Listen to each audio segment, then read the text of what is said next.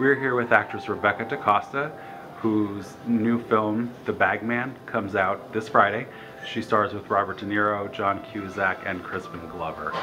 Why don't you talk a little bit about when you first wanted to become an actress? And I know you were born in Brazil, and then we'll work up to your new film. Okay, so I was born in Recife, Brazil. Uh, it's a city in the, in the northeast uh, by the coast.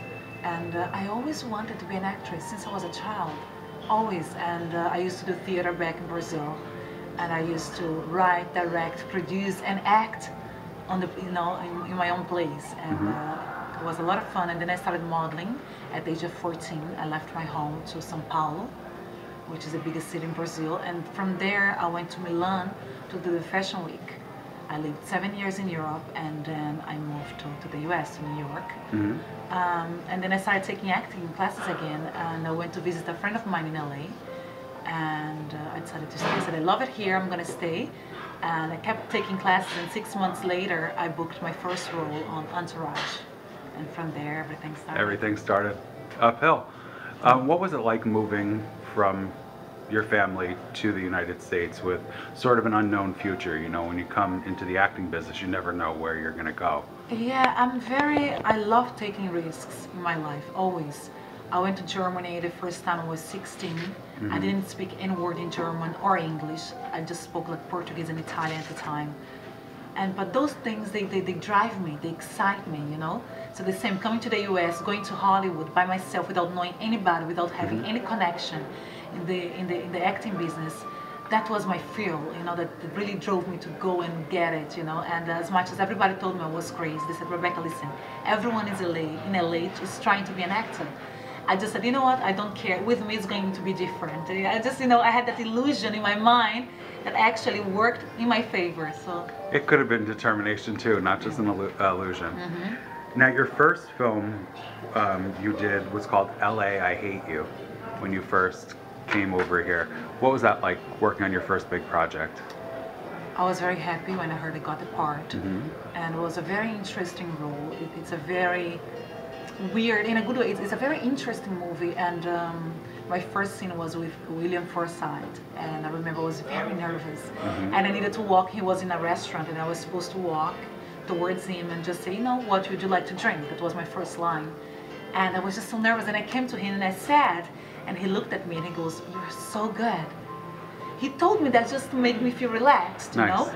And it was so nice of him. And from then on, I just relaxed and I started to have fun.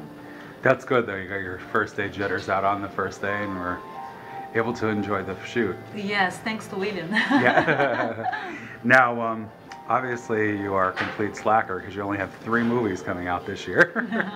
Why don't you talk about them uh, in order? I know the newest one coming out, The Bag Man, is coming out Friday, yes, and then you have two other ones later in the year. yes. So The Bag Man is about loyalty and trust between a fixer, played by John Cusack, and a crime boss, played by Robert De Niro.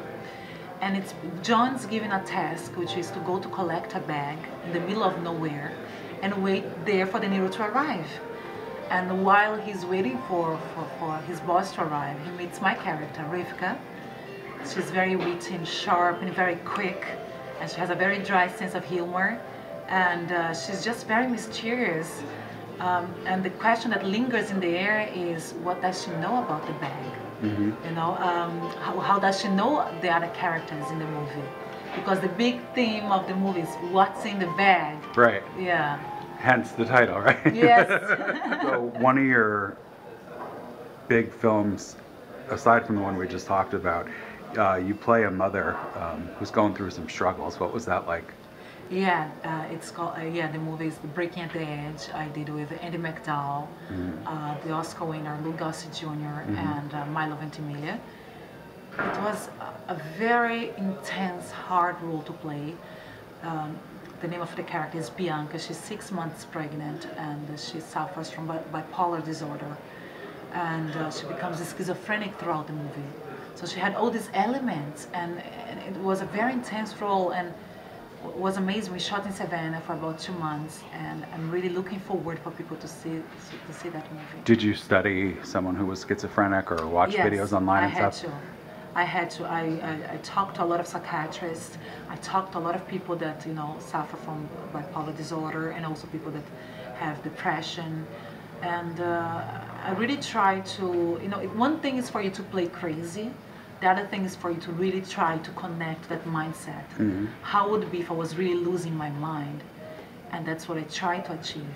And it was was intense. and talk a little bit about mind games if you're allowed to. Yes, Mine Games, exciting project. It's a thriller.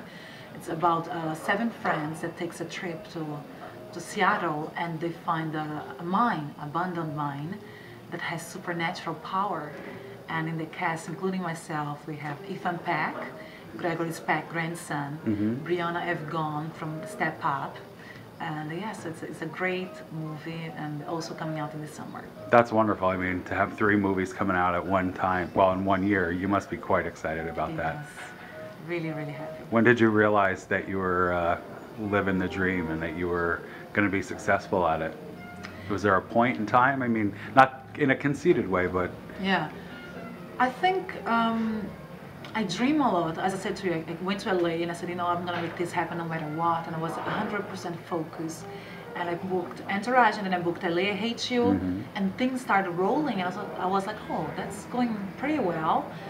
But I think just now with the Bag Man, I'm starting to get some, you know, the, the dimension of things, and uh, I'm like sometimes I, I find myself thinking, oh my God, this is really happening. It's Yeah. like unbelievable. keep pinching yourself.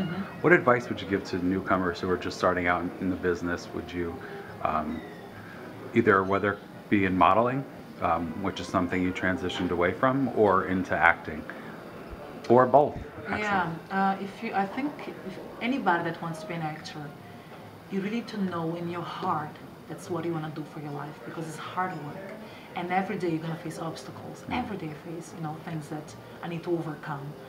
So as long as you know in your heart that you're born to do that, just go for it. Just that doesn't matter what people tell you. Doesn't matter if you're not tall enough, or, or you know, you may be too tall or too short or whatever.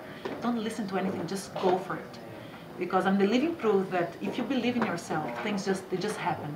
There- There's a sort of energy that you that you give to the world when you believe in yourself that somehow you attract things to your life. Perfect. Well, Rebecca, we look forward to your two other films opening later this year, and especially to the one opening Friday. Thank you. Thank you so much for taking time to do this interview.